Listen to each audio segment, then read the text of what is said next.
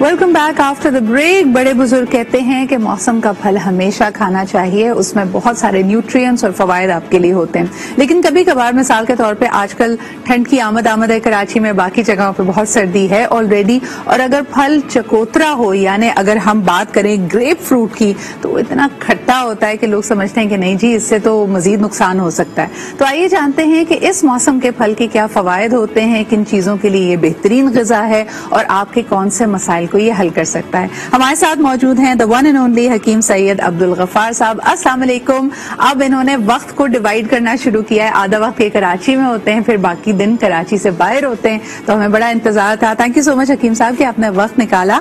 आज का हमारा मौजू चकोतरा या फिर ग्रेप फ्रूट मुझे ये बताइए अक्सर लोगों को लगता है ग्रेप फ्रूट का अगर जूस पियेंगे तो वज़न कम हो जाएगा। क्या ये सही बात है?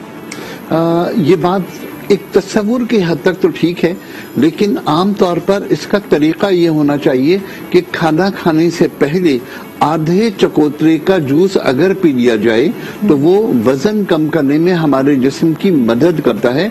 इसलिए कि इसके अंदर एंटीऑक्सीडेंट्स होते हैं इसके अंदर न्यूट्रिएंट्स मुख्तलिफ़ होते हैं और फिर ये भूख को मैनेज करता है।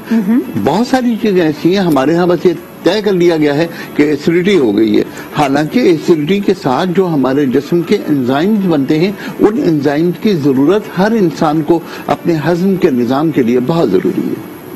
बिल्कुल सही। हकीम साहब, ये बताइएगा कि आम तासुर ये है कि ये इतना खट्टा होता है, इसमें जो न्यूट्रिएंट्स होते हैं, वो जिस्म की चर्बी को काट देते हैं। ये मुझे कभी बात समझ नहीं आई। एग्जैक्टली exactly होता क्या जब अगर हम ग्रेप फ्रूट का जूस पीते हैं तो ये हमारी बॉडी पे किस तरह असर करता है?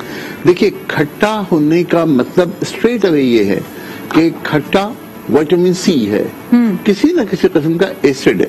अच्छा जितने भी विटामिन सीज हैं ये सारे के सारे हमारे जिगर को फ़ायदा पहुंचाते हैं जिगर के अंदर स्टिमुलेशन पैदा करते हैं क्योंकि वो एंटीऑक्सीडेंट्स भी होते हैं लिहाजा जिगर बेहतर होता है और जिगर के ऊपर जो फैट लगी हुई होती है फैट हो जाती है जिन लोगों का फैटी लिवर होता है जब वो बेहतर होते हैं तो ऑटोमेटिकली जिसम जो है अपने फैट को पूरा करने के लिए जिसम के फैट को कंज्यूम करता है।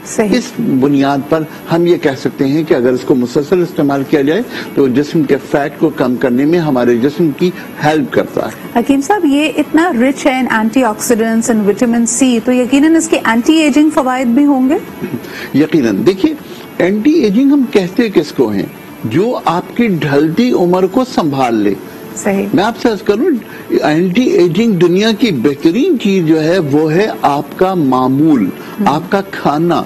फ़ूड स्टैंडर्ड ऑफ़ फ़ूड ये तमाम चीज़ें बहुत इंपॉर्टेंट हैं। अगर किसी एक चीज़ को लेकर के फिर उसके पीछे पड़ा जाए तो मेरा नहीं ख्याल कि ये बहुत अच्छी चीज़ है। जैसे एक बहुत मशहूर बात हो गई थी कि ग्रीन टी पीने से वज़न कम होता है। लिहाजा खातन ने पता नहीं कितनी ग्रीन टी पी ली। हालाँकि उसका अगला जुमला ये लिखा हुआ था कि अगर आप तीन महीने तक छह कप रोज़ाना पियेंगे तो आपका वज़न दो किलो कम हो जाएगा। अगला जुमला पढ़ने की किसी ने कोशिश नहीं की। बस वो सारे के सारे लगे रहे ग्रीन टी पी लो, वज़न कम हो जाएगा। तो बिल्कुल इसी तरह पूरी बात पे अमल कीजिए आधी बात पे अमल करना मुनासिब नहीं। बिल्कुल सही। हकीम साहब एक सवाल आया है आपके लिए। This is Sana from Lahore इन्होंने पूछा ये है कि मुझे किसी ने कहा है कि निहार मुँह अगर आप एक महीने तक ग्रेप फ्रूट का जूस पीते हैं और उसके बाद नाश्ता नहीं करते यानी सिर्फ़ और सिर्फ़ नाश्ता इसका एक कप जूस है तो आपका वज़न बड़ी तेज़ी से गिरता है। क्या ऐसा करना सही है?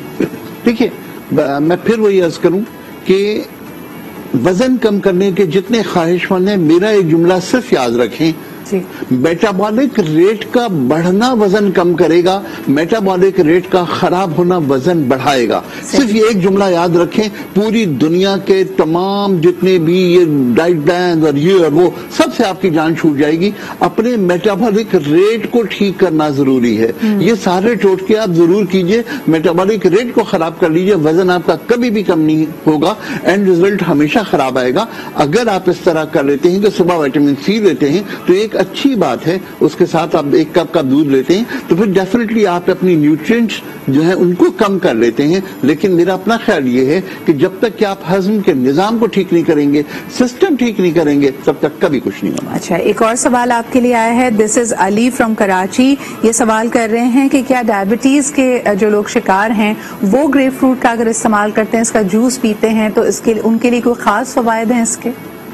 देखिए मैं जाती तौर पर समझता हूँ कि ग्लाइसेमिक इंडेक्स को अगर देखा जाए ग्रेप फ्रूट के तो ग्लाइसेमिक इंडेक्स में ग्रेप फ्रूट हाई लेवल पर आता है okay. ये बात हमारे यहाँ आमतौर पर गलत फहमी के तौर पर मैं समझता हूँ कि आ गई है कि ग्रेप फ्रूट के इस्तेमाल से शुगर लेवल कम नहीं होता hmm. तीन चीज़ें अर्ज़ करता हूँ सबसे पहली बात तो ये कि 100 ग्राम ग्रेप फ्रूट में 7 ग्राम शुगर होती है अगर आप एक पाव का छिला हुआ ग्रेप फ्रूट ले रहे हैं तो इसका मतलब 250 ग्राम आप ग्रेप फ्रूट इस्तेमाल कर रहे हैं और इसमें साढ़े सत्रह ग्राम शुगर मौजूद है।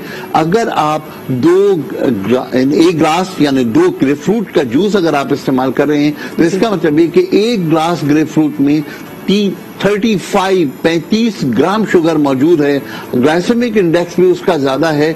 मैं आज तक नहीं समझ पाया कि लोगों के अंदर ये जहन में बात क्यों आती है कि हम ग्रेप फ्रूट का जूस पी के शुगर लेवल कम कर लेंगे। दिस इज़ रॉन्ग कभी भी ऐसा मुमकिन ही नहीं। सही। ये बड़ी अहम आपने यहाँ पे बड़ी तफसील ने बताया हकीम साहब वेरी ग्रेटफुल मेरे ख्याल में शायद क्योंकि उसका इतना खट्टा और एक आफ्टर टेस्ट उसका थोड़ा बिटर है तो लोगों को लगता है कि शायद कोई करेले के जूस जैसी चीज़ है और उससे कोई फ़ायदा वो अपने आप को पहुँचा रहे हैं। अच्छा अच्छा मुझे बताइए जब इसमें खटास इतनी ज़्यादा है तो क्या इसके रेगुलर इस्तेमाल से आपकी इंटेस्टाइन्स को आपकी आंतों को कोई तकलीफ़ पहुँच सकती है या उसमें कोई खराबी पैदा हो सकती है? देखिए खट्टा होने का मतलब यह है कि उसके अंदर कहीं ना कहीं एसिड मौजूद है। जी। अब मैं नेचर की अगर बात करूँ तो मेरे सामने खट्टा रखा है, वो कैरी है और कैरी एक शख्स छील रहा है और उसको काट करके नमक लगाकर खा रहा है। एक शख्स ऐसा है जो लींबू काट रहा है और नमक लगाकर उसका रस निचोड़ रहा है। नेचर ये है कि मेरे दिमाग में जब सामने में देखूँगा तो मेरे मुँह से थूक आना शुरू हो जाएगा। ये दुनिया का बेहतरीन एंटाइसड है। सही। ये बात तय कर लीजिए कि हर खट्टे के अगेंस्ट अगर हमारा स्लाइवा, यानी ये दुनिया का बेहतरीन एंटासिड अगर उसमें आप ऐड कर रहे हैं तो आप कभी भी खट्टे से कोई नुकसान कभी नहीं उठा सकते। ये बात हमेशा याद रखिए कि इन जूसेस को हल्के हल्के एक एक घूट करके पीजिए स्लो पीजिए इसका नुकसान ज़िंदगी में कभी नहीं होगा। और क्योंकि ये खट्टा विटामिन सी है और ये लिवर के इफेक्टिविटी को बेहतर करता है हमारी इम्यूनिटी को डेवलप करता है और इम्यूनिटी के लिहाज से लोगों के पास शायद इतनी ज़्यादा अवेयरनेस पहले नहीं थी जितनी अब है। तो मुझे लगता है कि इसमें इम्यूनिटी का बहुत बड़ा दखल है और इम्यूनिटी डेवलपर के तौर पर हम इसे इस्तेमाल कर सकते बिल्कुल सही। एक आखिरी सवाल आपसे करना चाहेंगे हकीम साहब बच्चों के लिए क्या ये मौजू है? कई लोगों का ख्याल ये है कि इतना खट्टा है, बच्चे अगर कभी मांगते भी हैं तो कहा जाता है कि नहीं भाई, ये आपके लिए नहीं है तो बच्चों के हवाले से बताइएगा और एक कॉलर भी वेट कर रहे हैं। जी। दो चीज़ें आज करूँ। ये खट्टा है बच्चों को दिया जा सकता है इसलिए कि इसमें विटामिन सी होता है और लोग जो डरते हैं देते हुए इसलिए डरते हैं कि इसमें टॉन्सिल्स होने के इम्कान होते हैं। हम्म। और टॉन्सिल्स का इलाज विटामिन सी है। सही। आप इसको मैनेज कर लीजिए। ग्रेप फ्रूट के जूस में अगर थोड़ी सी शक्कर मिला दी जाए तो बच्चों के लिए बहुत ज़्यादा फ़ायदेमंद हो जाए सही। अच्छा एक कॉलर हमारे साथ है उनसे बात करते हैं। हेलो अस्सलाम असलकुम जी मैं मिसेस तारिक बोल रही हूँ। जी मिसेस तारिक मैं मैं मिसेस ये डॉक्टर साहब से पूछना चाहूँगी ये थायराइड है और उसका कोई आप बता दें कि क्या चीज़ लेनी चाहिए मैम आपको हाइपो है या हाइपर थायराइड है?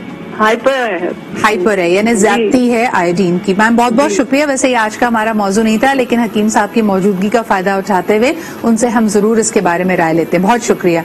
जी हकीम साहब हाइपर अगर है जिसमें ज्यादती की बात की जाती है आयोडीन की तो इनको अपनी डाइट में लाइफ में क्या चेंजेस करने चाहिए? मैं करूँ कि एक चीज़ जो थायराइड के फ़ंक्शन को बेहतर करने के लिए बहुत अच्छी है वो है शलजम टर्निप हमारे यहाँ बहुत ज़्यादा से टिप्पर कहा जाता है। ये इस्तेमाल करना बहुत फ़ायदेमंद है। इसको बॉईल कर लीजिए इसके स्लाइस करके अपने लंच में सलाद के तौर पर इस्तेमाल कीजिए। लेकिन एक बहुत इंपॉर्टेंट बात कह रहा हूँ कि जो दवाएँ हाइपर में या हाइपो में इस्तेमाल की जाती हैं उन दवाओं पर स्पेशली लिखा होता है पॉइजन बिल्कुल। ये जहर है।